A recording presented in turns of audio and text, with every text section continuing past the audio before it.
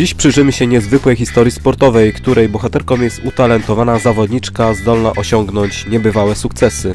Od roku rywalizuje w kategorii seniorów, zdobywając na swojej drodze dwa złote medale i jeden srebrny podczas Mistrzostw Polski. Na międzynarodowych arenach sportowych w Grecji zajęła czwarte miejsce, a to już otwierało drzwi do udziału w Mistrzostwach Świata. W Szwecji sięgnęła po złoto w konkurencji technicznej, by następnie zdobyć srebro w sprincie, a w Czechach podium z drugim miejscem w sprincie. Gotowa na nowe wyzwania i sukcesy, Marta Apanasewicz prezentuje się jako prawdziwa gwiazda sportu, zdobywając serca miłośników SUP. Cześć Marta, zaczniemy od e, początków Twojej kajakarskiej przygody. Jak to się stało, że znalazłaś się na desce SUP? Bardzo dziwnie się stało, ponieważ na początku moich najmłodszych lat trenowałam gimnastykę, potem lekkoatletykę i potem pływanie weszło. A pływanie było, bo moja mama stwierdziła, że warto pływać po prostu, żeby swoją odporność wzmacniać i tak dalej. E, I pływałam z dwoma trenerami. E, po czym e, stało się to taką rutyną przez, nie wiem, 6-7 lat.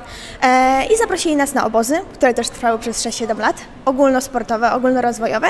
I był tam właśnie też SUP, pompowany, taki rekreacyjny dla zabawy, wszyscy się pluskaliśmy, biliśmy, zrzucaliśmy z desek, po czym zaczęły się pojawiać w Polsce mniejsze, większe zawody w supie. Um, no i jako, że trenowaliśmy z tymi trenerami, to z nimi jeździliśmy pod ich jakby flagą, pod ich nazwą um, i z czasu do czasu stało się to profesjonalne, a że zmieniliśmy deskę na twarde, wiosła były profesjonalne, twarde w jednym jakby kawałku. Um, myślę, że to dzięki moim rodzicom i tym trenerom tak naprawdę poszło to tak szybko w górę. Czyli od samego początku sport, za Tobą Mistrzostwa Świata w Tajlandii. Jak przygotowywałaś się do tych zawodów? Co było kluczowe do osiągnięcia tak dobrych wyników? No, śmieszna sytuacja, bo dwa miesiące przed zawodami, czyli tymi najważniejszymi zawodami tak naprawdę w przeciągu roku, e, zmieniłam trenera.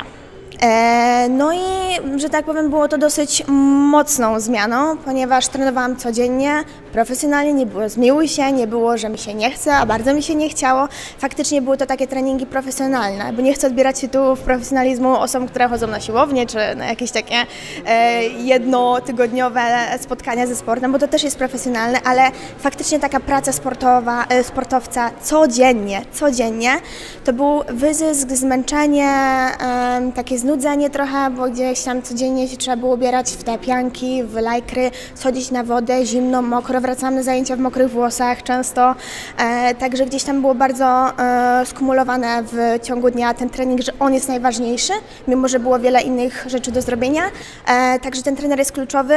Mam tak naprawdę trzech teraz przy sobie trenerów, dwóch na miejscu, którzy asekurują mnie mentalnie i klubowo, bo trenuję w Eskarżecie u nas bliziutko AWF-u, e, a drugi to jest Francji daleko i e, widzę się z nim bardzo rzadko. Gratulujemy, że masz takie wsparcie. Jak łączysz studia z intensywnymi e, treningami i zawodami? Czy nie masz wrażenia, że mm, studia to takie małe hobby na boku? No, nie chcę zasmucać, zasmucać AWF-u i wykładowców, ale ja tak naprawdę jestem e, po zmienionym kierunku, po dwóch tygodniach na pierwszym kierunku, drugi tydzień na tym kierunku diagnostyki sportowej, więc tak naprawdę cały czas, cały czas czuję się nowa, cały czas czuję, że kolejne zajęcia są nowe, że jestem na nich pierwszy raz.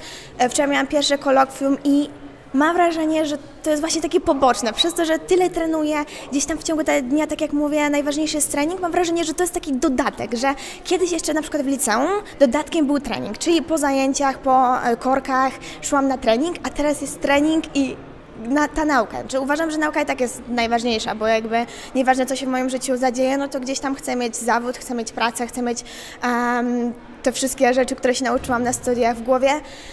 Marta, widać, że masz dużo entuzjazmu w sobie zapału do sportu. E, jakie są Twoje najbliższe cele w Twojej karierze sportowej? Już od trenera słyszałam, że jakieś we Francji będą, jakieś w Danii będą fajne zawody, ale na pewno teraz myślimy o Mistrzostwach Świata, bo będą na Florydzie za rok.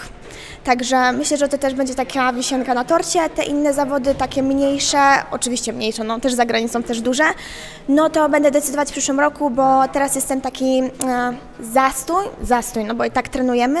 Em, także zobaczymy. Na razie plan jest taki, żeby przeżyć zimę i trenować. Trzymamy kciuki za powodzenie. I na koniec, e, czy zechciałabyś e, serdecznie pozdrowić, e, czy złożyć e, pozdrowienia dla, dla fanów? E, może jakiś supowy żart na przykład, jak przetrwać e, deszczowy dzień na desce? W ostatnim wywiadzie powiedziałam, że w październiku, pod koniec października będzie ciepło, będzie słońce, będzie 25 stopni, więc trzymam kciuki, żeby w tą zimę był śnieg, żeby może nawet nie było ciepło, ale żeby był śnieg i żeby było fantastyczne, piękne słońce, którego wszyscy potrzebujemy. Dziękuję bardzo. Dziękuję bardzo, pozdrawiam.